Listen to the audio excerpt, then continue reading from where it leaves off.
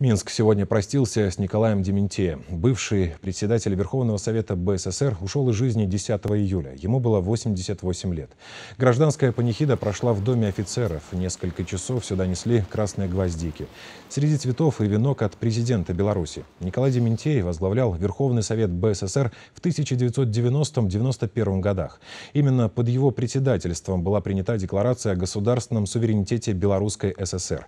С 1996 по 2000 2000 Николай Иванович был членом Совета Республики. Поддержать родственников и проститься с политиком пришли руководители министерств, ведомств, его друзья и бывшие коллеги. Мне пришлось э, немало лет работать вместе с ним. И я вижу эту фигуру не только как государственного деятеля, на которого выпала нелегкая доля сражаться за суверенитет Белоруссии э, в период развала Союза, но это и прекрасный человек. Э, за все годы работы, наверное, никто не помнит, чтобы он кого-то оскорбил грубым словом. Он всегда методом убеждения, спокойно. Я думаю, что хороший почерк на земле память о себе оставил Николай Иванович Дементей своим трудолюбием, своим уважением к людям, своим преданностью государству.